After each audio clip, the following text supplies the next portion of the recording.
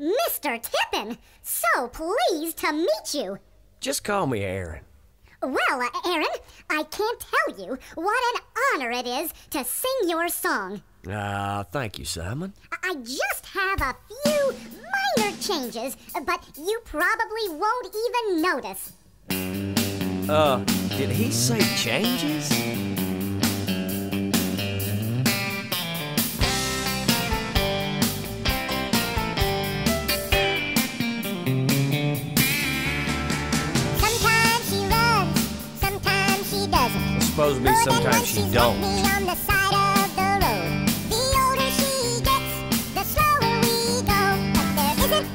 Wrong with the radio. Excuse me.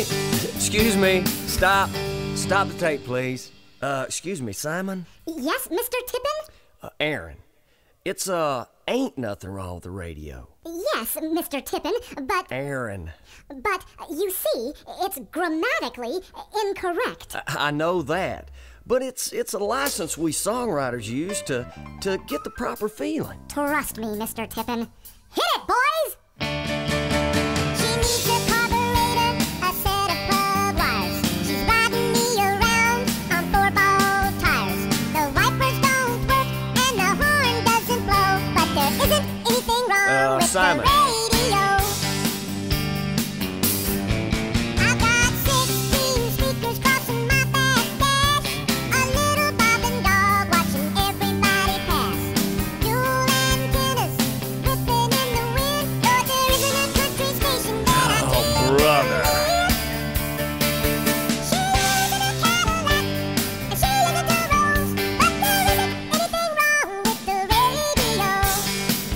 Simon.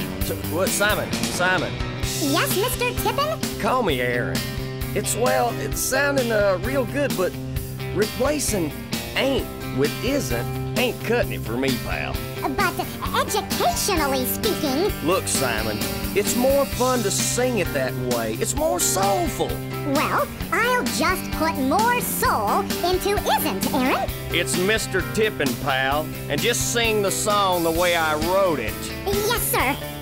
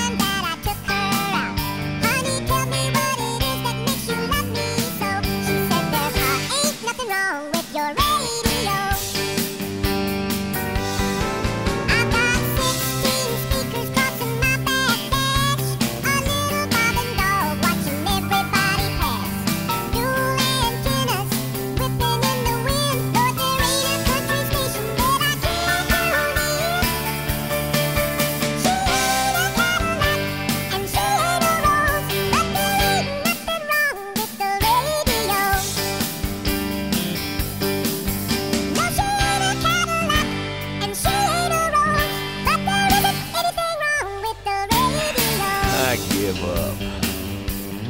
Aaron, Aaron, I've got a great idea.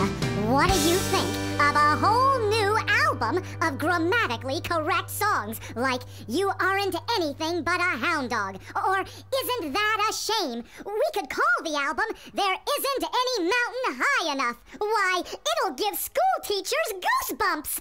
yeah, yeah, right. Uh, you know, Simon, I think uh, Garth Brooks has a couple of songs that could use some of your rewriting. Let me give you his number. Oh, that would be great! And uh, Clint Black loves to collaborate with young up and comers.